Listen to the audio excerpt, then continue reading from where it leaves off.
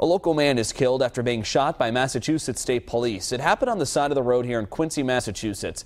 Police say the shooting came following some sort of confrontation, which led to a struggle. Well, now we're hearing from that man's family. Eyewitness News reporter Susan Campbell joins us now from our newsroom with the latest developments. The sister of the man who was shot and killed by police says she's shocked and she says she has a lot of unanswered questions.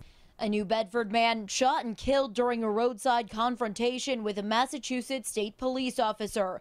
Now Wilfredo Justiniano's sister is speaking out about her brother and the deadly scene that unfolded Friday morning in Quincy. I would like some answers, and um, he didn't deserve to go like that, like he did. Around 8 o'clock Friday morning, state police received a call about an erratic driver on Route 28.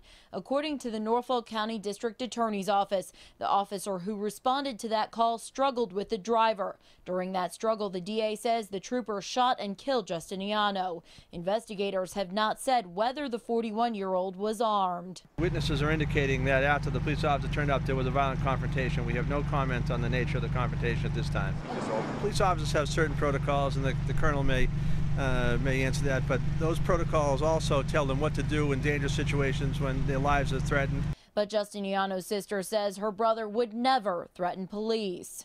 Never. That's why I'm in shock, because he would never do that. His neighbors also stunned. He didn't bother nobody, you know. He was always with his Bible, standing there waiting for the bus. I always see him in the porch. I don't know. I'm so devastated. Wilfredo Justiniano was taken to Beth Israel Deaconess Hospital in Milton, where he was pronounced dead. The trooper involved is a 25-year veteran of the Massachusetts State Police. He's been put on administrative leave, which is protocol in situations like this. In the newsroom, Susan Campbell, Eyewitness News.